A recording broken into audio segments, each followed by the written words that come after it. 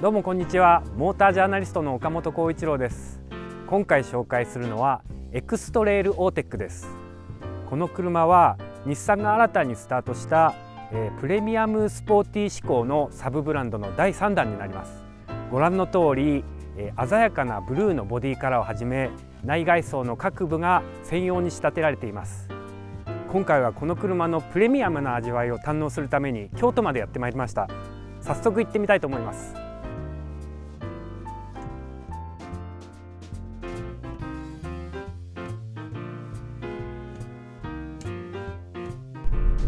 日産が新たにスタートしたオーテックっていうサブブランドですね、えー、これは、えー、プレミアムスポーティー志向のサブブランドであると。で第1弾として、えー、セレナが出て第2弾がノートですね。そしてこの第3弾としてエクストレールが、えー、登場しました。でこの車もですね、えー、大人のプレミアムな装いっていうことでですねえ、各部がこう専用に仕立てられています。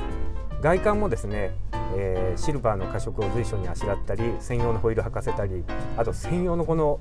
ブルーのボディカラーですね。これ非常に深みのある綺麗な色で、えー、僕もこれあの個人的にもかなり気に入ってるんですけど、えー、まずそういう専用のものがいくつか用意されていると。そしてインテリアの方もですねえー、クラフトマンシップを目指してですねいろいろ各部が専用に仕立てられています、え、まず、え、ベース車には設定のない本革シートですね、えそれがエクストレールオーテックには、え標準装備されます。さらにですねインテリアの方も、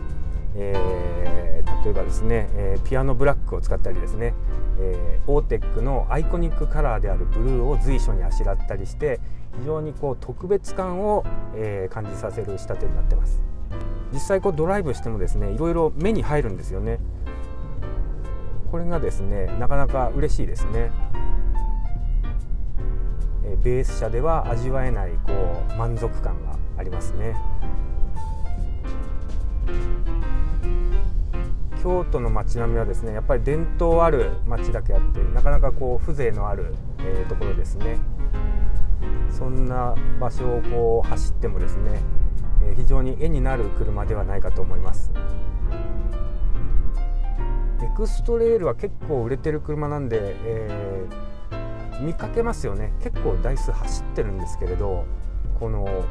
ーテックってやっぱりこう遠目に見ても特別感を感じさせますよね。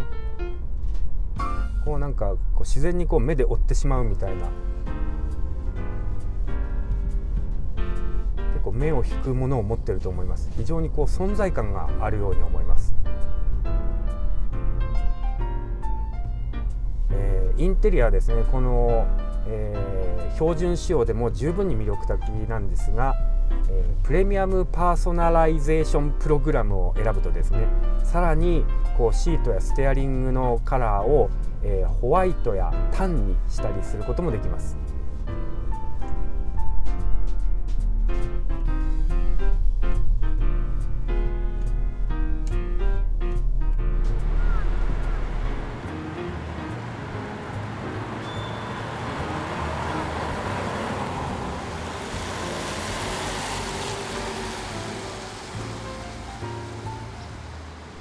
ただいま新東名の、えー、静岡パーキングエリアの辺りを走っております、えー、この辺りですね、えー、2019年3月1日から制限車速が120キロに引き上げられました。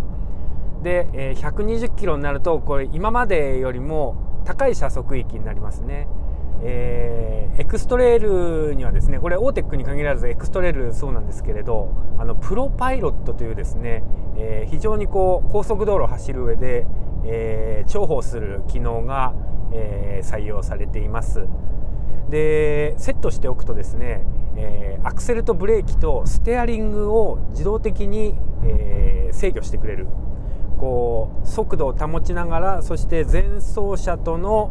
車間距離を、えー、一定に保ちながら走ってくれてさらにですね、え、こうステアリングまで制御して車線と車線の間のちょうどいいところ真ん中をですね、え、走ってくれるんですね。これが非常に、えー、ありがたいんですね、え高速道路をですねただ走るっていうのはですね意外と疲れるものなんです。だけどこのプロパイロットを使うと、えこう車線の間を沿って走るのにですね気を使わなくて済むので非常に、えー、疲労が軽減されます。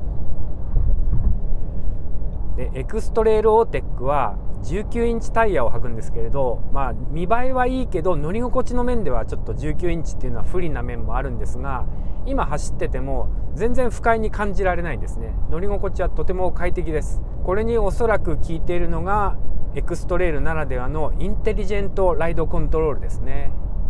駆動力を制御することで車体をフラットに保つっていう機能なんですけれど